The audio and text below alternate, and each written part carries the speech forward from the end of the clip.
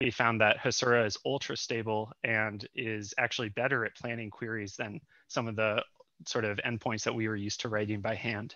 Um, and GraphQL on the front end just makes all sorts of things a lot easier. Uh, basically, since I've already started talking about them, I'll go over the key benefits that we've seen. But last year, keep in mind, Pipe is only a year old, just about in the current form.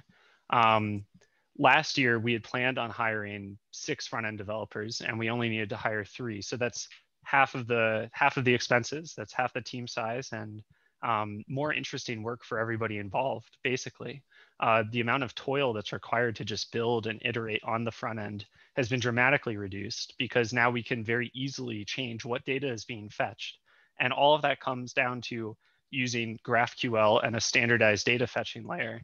And that's only possible because Hasura just plugs right in, sits in front of our database, and we don't need to worry about writing any sort of conversions or writing those, those APIs ourselves. Um, in the past, we would essentially have to write a separate endpoint for each of the sort of types or shapes of data that we'd want to fetch. And they wouldn't compose very well. And it meant that if you were a front end engineer working in Helsinki, you might have to wait till someone with more Golang sort of knowledge working in San Francisco was online. And there's only a few hours every day where those people actually overlap. Um, basically, we're seeing that it takes about a tenth of the time to, to develop a new page in our application or a new component uh, based on having adopted Hasura. That's a rough estimate, as all these numbers are, but um, it's really much, much faster. And more importantly, there's just a lot less to worry about um, both on the front end, it's easier for me as a non TypeScript expert sort of engineer to go in and say, hey, I know how to ask for an additional field here. Hasura will do all the right things and make sure the queries work out. All I have to do is add in an additional attribute or column name to this blob that I'm trying to fetch, and Hasura will do the right thing for us. Um, that's great. That means our iteration times go down. That means it's just less headache, and it means it's just more fun to work on the front end. Um, Plus, then we no longer have to hear about front end people trying to write Golang, which is often a somewhat frustrating experience. Um, although I think they learn to love it a little bit.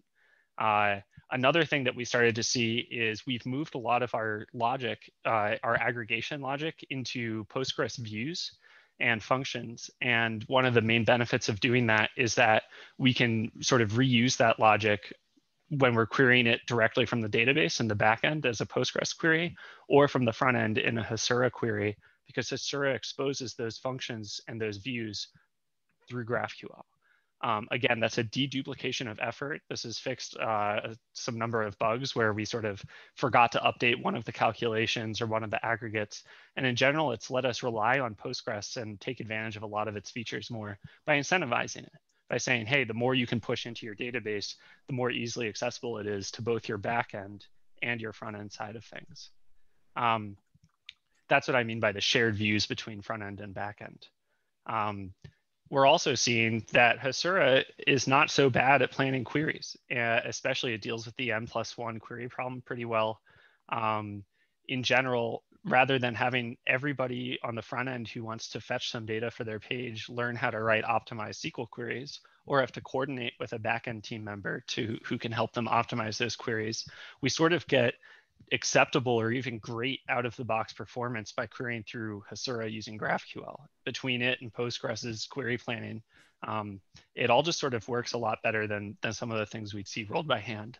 And I know if you're a hotshot company and all your all of your employees are SQL engineers and they can optimize it, it still is a great choice because I love playing around with queries, but it's not the most effective use of my time. And Hasura can just make that problem go away essentially by default.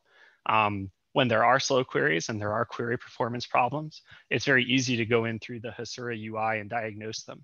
Um, combined with the logging that it exposes uh, and the sort of metrics that you can use, um, has sort of made it pretty easy to figure out sort of what's going wrong on this page, why is it so slow, and then speed it up in the few cases where it wasn't planning optimal queries.